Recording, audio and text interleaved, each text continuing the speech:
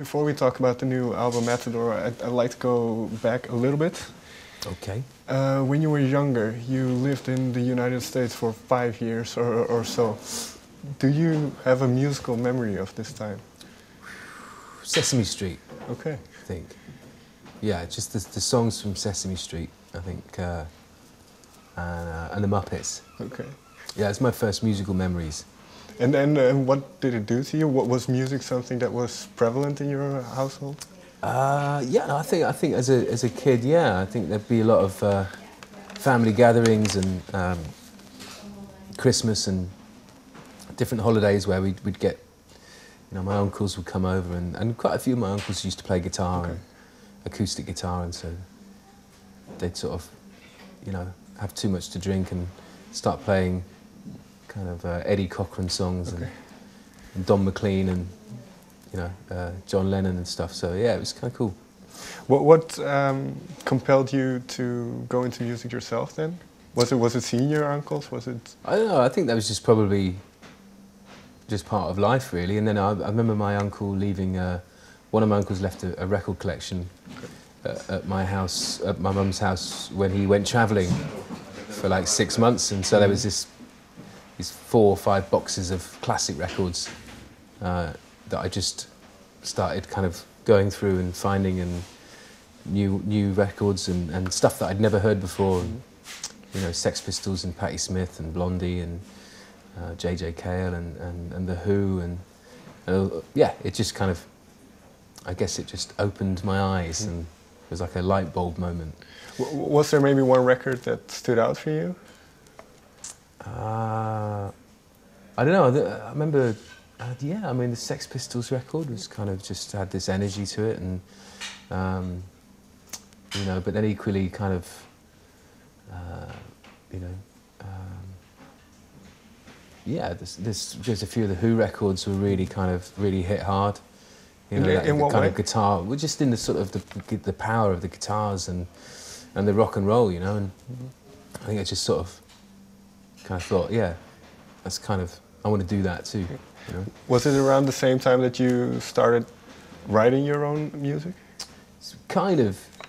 No, probably, I don't know, I started probably writing a few years after that, you know, that, that was probably when I was like 10, 11, 12 sort of thing, and then kind of met a few people at school and we started to play instruments and, um, yeah, so I d- definitely wrote a few songs kind of quite young, maybe 13, 14, but they were rubbish.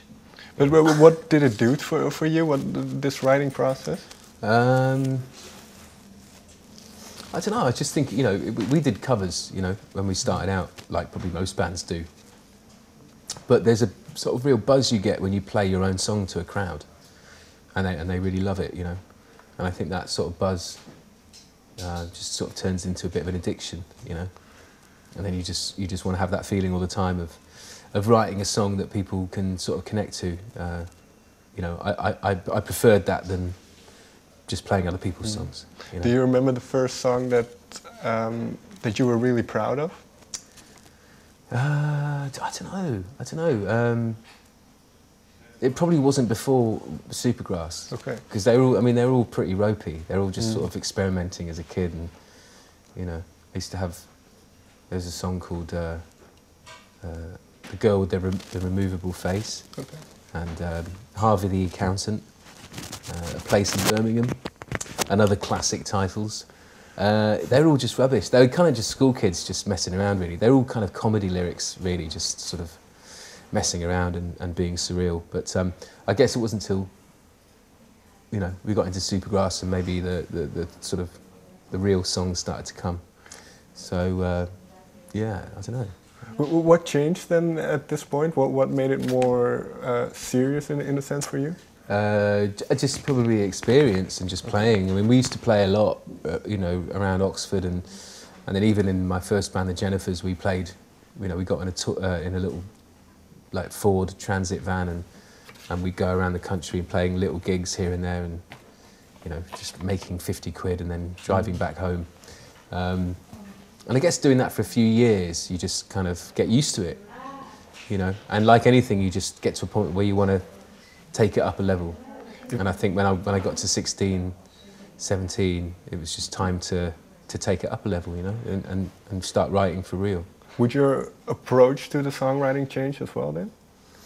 Uh, I guess so, but that was more about you know the, the guys in the band, you know, and being being in Supergrass from like I said, 16 years old. It was a different dynamic to like the school bands that we that I'd been in. Mm. Um, so yeah, you know, we, we, we kind of all, you know, I guess quite early on we all bonded over over cool music, like I said, like the Who, and, Right. and but even stuff like kind of, um, you know, you know, comedy stuff, you know, Derek and Clive and and sort of you know the Muppets and stuff, but even Mhm. like Frank Zappa, all the kind of weird shit as well. We were really into uh, when we were kids. So um, you know, I don't know where our songwriting style came from. And and well, if you- if you take it all the way to up till now, you you mentioned that addictive feeling that you that you got from writing a song and playing it. Is is it still the same now? Yeah, completely. Yeah, I wouldn't do it if it wasn't the same buzz. You know. Uh, you know, uh, I, I guess it's sort of, um, you know, when you're a kid though, you have a real sort of like a uh, uh, no fear, you know.